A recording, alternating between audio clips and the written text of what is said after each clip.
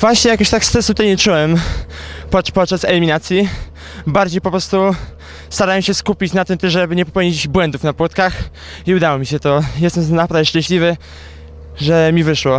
Liczę jeszcze na szybsze bieganie w, w półfinale, ponieważ były małe te niedociągnięcia w, w tym biegu, ale to nie ma co, trzeba zapomnieć o tym skupić się na półfinale. E, naprawdę sprawia mi to wielką radość biegać przed polskimi kibicami, choć nawet jak jest e, mało, to wiem, że oglądają to w telewizji, tak? I co innego niż e, bieganie gdzieś za granicą, za oceanem, w innych krajach, bo tak jakby jest ta motywacja jest o wiele większa. I chcę płacić o finał, na pewno.